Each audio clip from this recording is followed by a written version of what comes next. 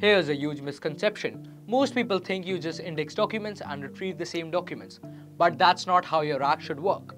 Here's how top performing RAG systems do it. First, classic chunk indexing, a standard approach to split documents into chunks and embed them, store in a vector database and retrieve the closest match.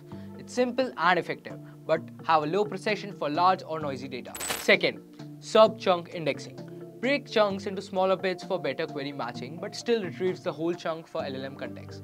Perfect when section covers a lot of concepts, gets you a better query matching without losing surrounding context your LLM needs. Third, query indexing.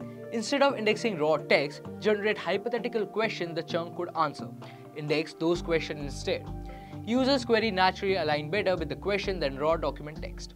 This closes the semantic gap between what user asks and what you have stored. The QA system loved this strategy.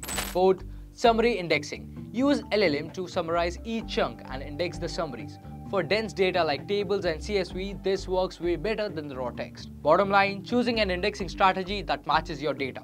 And your RAG system goes from good to great. Like, share and subscribe for more tips like this.